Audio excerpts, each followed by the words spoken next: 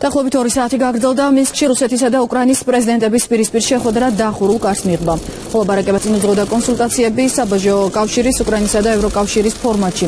ვლადიმერ პუტინმა ღიად განაცხადა, რომ რუსეთი არ არის დაინტერესებული უკრაინის ევროინტეგრაციაში, რადგან ეს რუსეთისთვის სერიოზული ზარალის მომდანია. პარალელურად ვრცელდება ინფორმაცია ხვალ თურქეთში პუტინ პოროშენკოს კიდევ ერთი შესაძლო შეხვედრის შესახებ. ქვეყნის პრეზიდენტები ერდოღანის ინაუგურაციაზე არიან მიწვეული.